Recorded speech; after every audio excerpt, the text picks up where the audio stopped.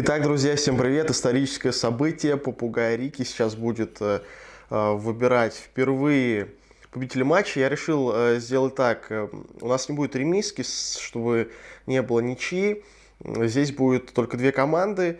То есть, если выбирает Ливерпуль, то это говорит о том, что он считает, что Ливерпуль выиграет или не проиграет. Если выбирает Эртон, то, соответственно, Эртон выиграет или не проиграет. Почему не три? Потому что так бы получилось, что одна была бы по центру, и тогда бы э, было бы не совсем бы э, честно. А так, две одинаковые миски с одинаковыми ингредиентами на одинаковом расстоянии от него. Ну что, тогда я приглашаю попугая и поехали. Теперь он, собственно, может уже идти и выбирать. Ну, давай, давай, давай, давай давай, давай. Подошел он к Эвертону в итоге. Э, то есть ты считаешь, что Эвертон не проиграет в этой игре? Слушай, ты так, мне кажется, потопишь этот канал. Ставь лайк прогнозу Рики. Я думаю, что такой смелый прогноз заслуживает лайка. Тем более, что он прекрасно понимает, чем э, рискует. Ведь если прогноз не зайдет, то на следующий день после матча он останется без еды. А, тем более, что моя ставка как раз таки противоположная. Я думаю, что Ливерпуль здесь победит. И э, порекомендую вам взять как минимум фору минус 1 Ливерпулю за коэффициент 1.72, либо же даже рискнуть и взять фору минус полтора за 2.28. Почему э, я лично не порекомендовал э, сразу фору минус полтора?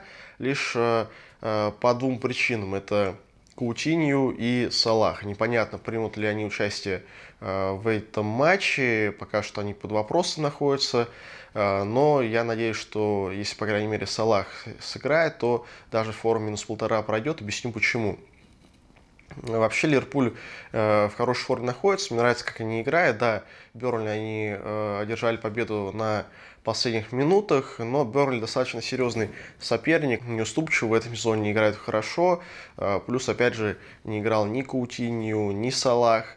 А до этого же Ливерпуль также одерживал победу, победили 2-1 Лестер, вроде бы счет минимальный, но создали огромное количество моментов и могли забивать на самом деле больше. Также до этого были и другие победы. Победили как раз вот с разгромным счетом э, Сонси 5-0, Бормут в гостях 4-0 сразу же победили. С Арсеналом сыграли 3-3, при том, что вели по ходу матча. В общем, Ливерпуль, в принципе, команда веселая, но форму они набрали неплохую.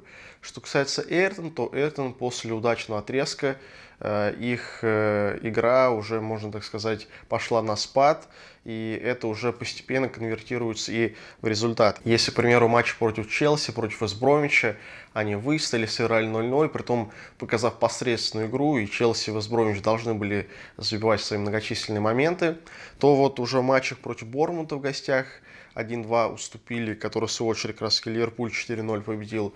А, проиграли Манчестер Юнайтед 0-2 в предыдущем туре.